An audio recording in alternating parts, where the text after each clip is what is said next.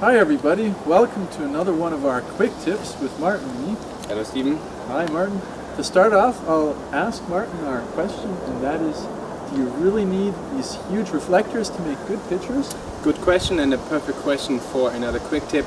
A lot of photographers think that they need huge light sources, huge reflectors to reflect enough light for, for example, a half body shot. But in this video, I'm going to prove that you don't. Steven, what Yeah. about taking a photo of Rosa? Sure. And um, No problem I'll with just give you the light. With this sun mover, the sun mover is less than one meter in diameter and it'll be enough light to uh, get the light from her legs up to her face. Great, let's do it. Oh, that looks good. You're right. Yep. Nice. I'd say that proved the point.